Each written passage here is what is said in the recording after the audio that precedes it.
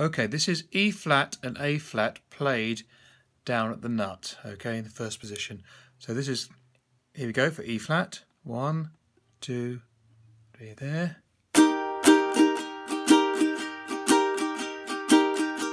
E flat. Now A flat, you ready?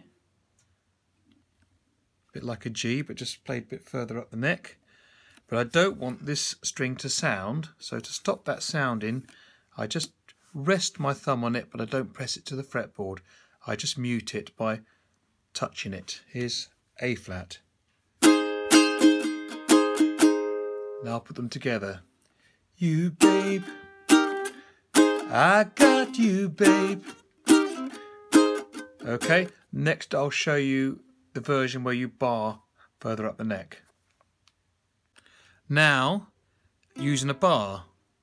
The bar is on the third fret. Just press the whole length of your finger down there. Okay, E flat is then this little finger here. E flat. Then for A flat, here and here.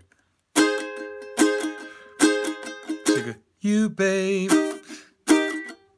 I got you babe, I got you babe. Now the advantage of using this particular shape is that when you want to go to B flat, that's A flat, A, B flat is there.